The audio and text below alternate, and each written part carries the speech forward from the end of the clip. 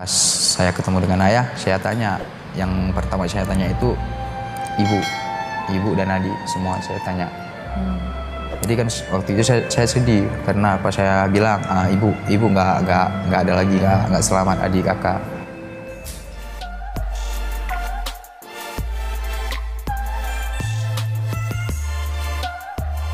Narasumber saya yang berikutnya adalah Martunis, bocah ajaib yang lolos dari tsunami Aceh di tahun 2004, 15 tahun yang lalu.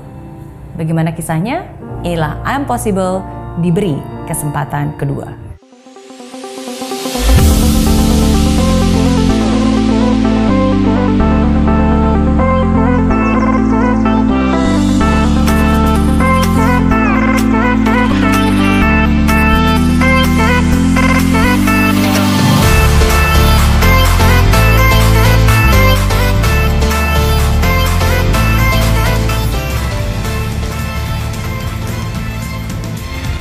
Martunis, Iya.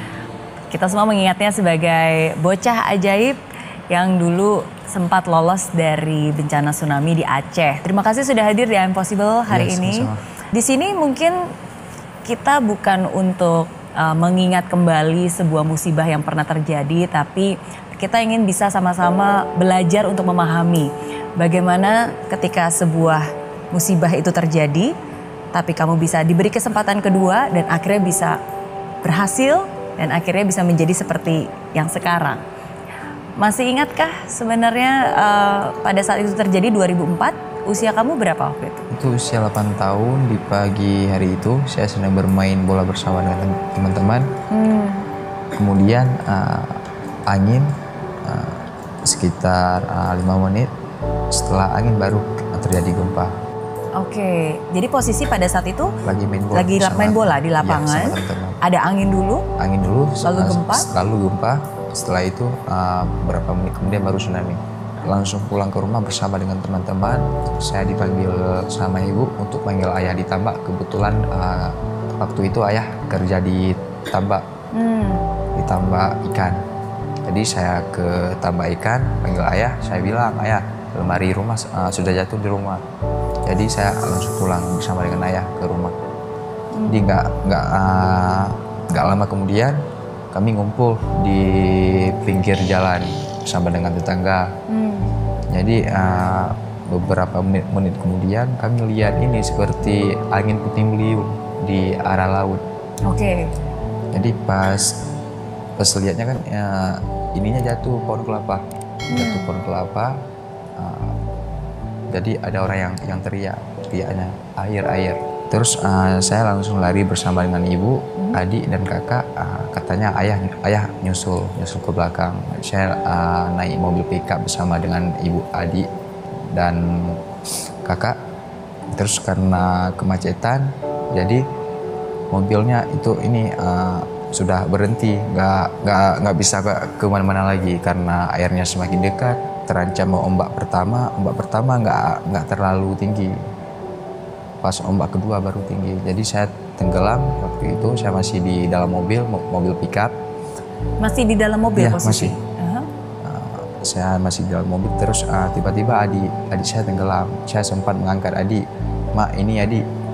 Pas saya angkat saya berikan sama mak. Hmm. jadi uh, pas pas waktu itu kakak saya juga tenggelam karena kakak saya ter- terlalu berat jadi saya nggak nggak nggak bisa angkat kakak saya jadi uh, saat itu airnya semakin tinggi baru saya terpisah dengan mereka dengan keluarga pas saya bangun saya uh, melihat oh kok nggak ada lagi uh, keluarga saya Hmm. jadi kan waktu itu mo- mobil mobil, mobil pickup jadi orangnya ramai berkumpul dengan saudara keluarga Oke. Dan terseret terbawa Iya, dengan saya langsung air. terseret ter- terbawa air. Eh, waktu itu saya seperti tidur. Saya tenggelam, saya tiba-tiba sudah ada di atas kasur. Kemudian eh, kasur itu tenggelam. Saya berusaha untuk naik ke atas bangku sekolah. Itu air airnya eh, masih tinggi. Bangku sekolah itu udah udah mau tenggelam juga. Jadi saya berusaha untuk saya ambil eh, kelapa yang kering itu. Saya saya eh, langsung ambil saya peluk seperti pelampung. Hmm. Terus saya juga tenggelam. Pas tenggelam saya uh, seperti orang tidur juga, nggak nggak sadar. Nggak sadarkan Iya. diri. Lalu ketika Lalu kamu sadar uh, kembali, pas saya sadar ketika saya berada di atas kasur yang yang lain. Oke. Berapa lama sampai akhirnya air itu surut? Jadi selama air masih pasang, kamu tetap Ya, berada di kasur masih, itu ya? Masih berada di atas kasur, terus kasur itu tenggelam. Saya uh, tenggelam lagi, tiba-tiba saya sudah ada di atas pohon yang yang besar. Jadi saya uh, dalam air itu dari pagi, dari pas tsunami uh, sampai jam 7 pagi, 7 pagi besoknya baru sadar. Hmm, Itu baru airnya uh, berhenti surut, udah surut ke laut. Oke. Jadi uh, di pohon itu tersangkut dengan mangrove dia Hmm, mangrove. Terus pas saya sadar, saya sudah ada di atas spring bed yang besar. hmm. Paginya saya, saya sadar. Uh, jadi uh, kayu itu tetap berada, berada di situ di samping spring bed itu dekat uh, pohon mangrove. Jadi di situ saya selama 21 hari. 21 hari. Iya. Di hari pertama saya berusaha untuk cari makan karena saya eh, di air selama dari pagi sampai malam terus eh, sampai subuh. Terus saya berusaha untuk cari makan, cari minuman.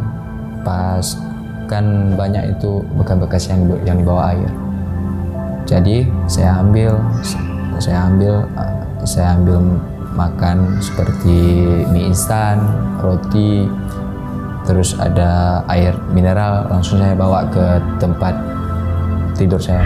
Saya dengar ketika pertama kali kamu sadar, kamu melihat sekitar tapi tidak ada tanda-tanda kehidupan sama sekali. Itu tidak ada. Jadi uh, waktu itu kan saya pas hari kedua, pas hari kedua pas saya lihat ke ke semua, jadi di situ banyak banyak mayat, banyak mayat. uh, terus uh, pas saya lihat nggak ada orang lagi, jadi uh, saya pikir kan sudah kiamat.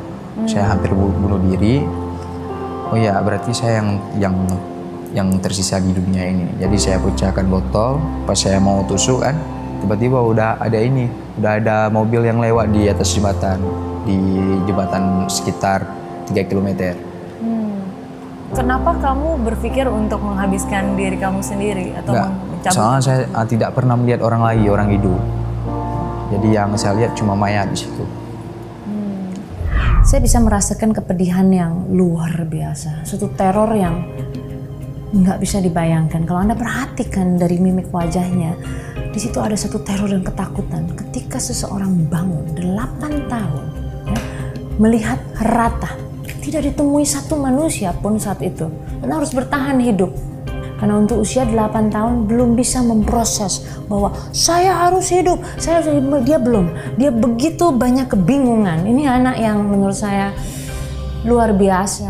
Em, lalu kapan akhirnya kamu bisa kembali bertemu dengan keluarga? Kan pas saya ketemu dengan keluarga kan, mereka bilang, "Ah, Jeh, kok kok bisa hidup ah, 21 hari di laut?" Yang saya saya nggak pernah berpikir bahwa saya tinggal di laut 20 21 hari. Yang saya yang saya rasakan cuma tiga hari, Mbak. Hmm, tidak terasa sepanjang Iya. itu ya. Oke. Em, siapa yang kamu temui? Anggota keluarga siapa yang akhirnya selamat pada saat Nah, itu? pas ke hari se- se- 19, 20, 21 baru saya ketemu dengan dua orang Aceh. Hmm. Mereka lagi cari mayat di situ, mayat keluarga. Terus mereka lihat saya, saya panggil, "Eh, bang, bang, tolong, saya panggil. Nah, terus yang mereka lari, mereka pikir saya, saya ini apa? Orang mati bisa hidup hidup balik, mayat Iya, seperti itu ya. karena berada di kumpulan mayat, kan? Kumpulan mayat. Mhm. Setelah beberapa menit kemudian baru dia balik. Hmm. Dia balik terus uh, saya langsung diangkat, dimasukin ke dalam fiber ikan, terus langsung dinyeberang ke sungai, baru kasih makan sama orang Aceh itu. Terus tiba-tiba saya ketemu dengan dua kakak-kakek, dia beri salam, Assalamualaikum. Saya jawab, Waalaikumsalam. Terus uh, beliau tanya nama, tanya sekolah berapa, umur. Dia berpesan, jangan pernah tinggal salat. Terus sebelum dia minta izin, ya udah saya minta izin dulu. Terus uh, dia dia uh, beri salam. Pas saya lagi makan, makan roti, tiba-tiba pas saya lihat uh, nggak nggak ada lagi udah hilang. Oh kakek itu sudah Ya, tidak sudah ada? hilang. Oke. Lalu berapa lama kemudian akhirnya kamu bisa bertemu dengan keluarga kembali? Nah, setelah setelah itu saya baru bertemu dengan pertama, pertama ketemu dengan orang Inggris. Kebetulan saya pakai baju timnas Portugal. Jadi mereka ambil gambar saya. Siap itu baru langsung dibawa ke rumah sakit.